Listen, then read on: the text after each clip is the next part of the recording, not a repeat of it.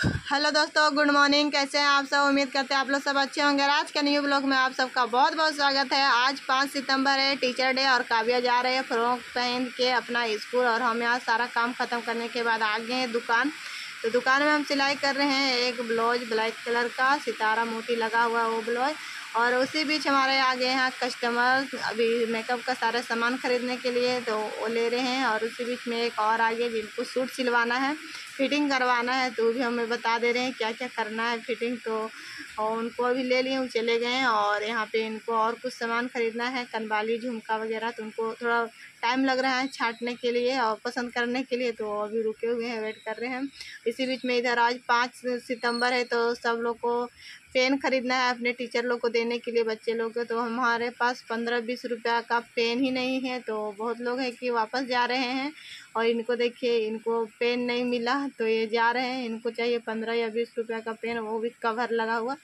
तो नहीं है वो पेन तो हम यहाँ पे आ गए हैं।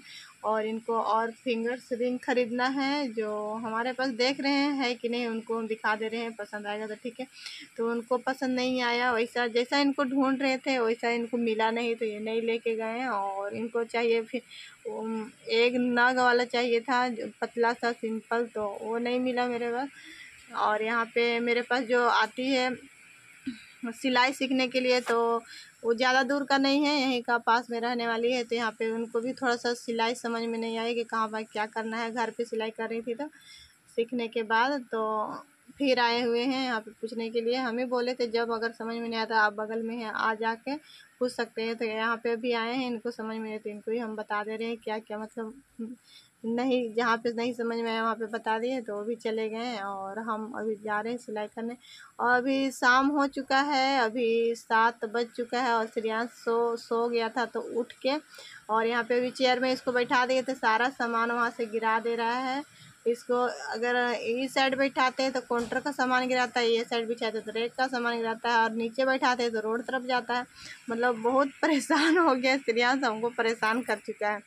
और अभी रात भी हो गया है, काव्या का पापा सामान मार्केट से आ चुके हैं, सामान लेके कल जन्माष्टमी है तो कुछ बहुत सामान लाने के लिए गए थे तो इनको भी देर हो गया आज। तो यहाँ पे सब्ज़ी भी लेके आए हैं तो हम सब्ज़ी भी ले जाते हैं और अपने दुकान से कुछ सत्तू भी ले जाते हैं, जो सत्तू पराठा बनाएँगे घर में। तो उसको भी क्या क्या घाटा हुआ है, हम देख ले रहे हैं क्या क्या सामान लेके जाएँगे एक ही बार अभी बनाने के लिए। तो और काव्या भी यहीं पे आई है अपना ट्यूशन आई, उसके बाद अपना बैग पूरा उठा के यहीं पे डायरेक्ट आ गई है। तो उसको भी बोल रहे चलो बैग अपना उठाओ और चलो। और काव्या अपना पास्ता भी ले जा रही है सुबह लंच बनाने के लिए। बोल रहे हमको पास्ता ही लंच में चाहिए ये। तो मेरा दुकान में है पास्ता तो उसी को हम लोग लेके भी जा रहे काव्या डाल रही थी तभी अपना बैग भी उठा ले रही है और चलेंगे। और स्त्रियाँ से भी यहाँ पूरा सामान छीट रहा है, जो अभी इनके पापा लेके आए हैं, वो तो जाना ही नहीं जा रहा है अभी। अभी फ्रेश फील हो रहा है, इसको सो के उठा है तो और अभी टॉयलेट भी कर दिया है।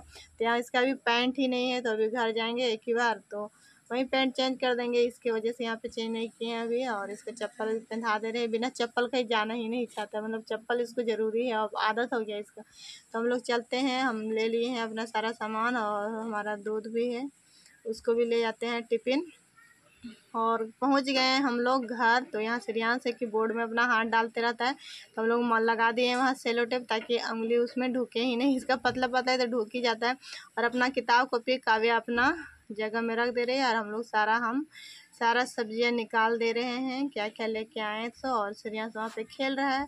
तो श्रियांश का भी कपड़ा चेंज नहीं कर दिया। अभी डायरेक्ट उसको सब्ज़ी सरिया, सब्ज़ी निकाल के और उसको हम डायरेक्ट तेल मालिश कर देंगे और तैयार कर देंगे ताकि वो खा पी के खेलने लगे।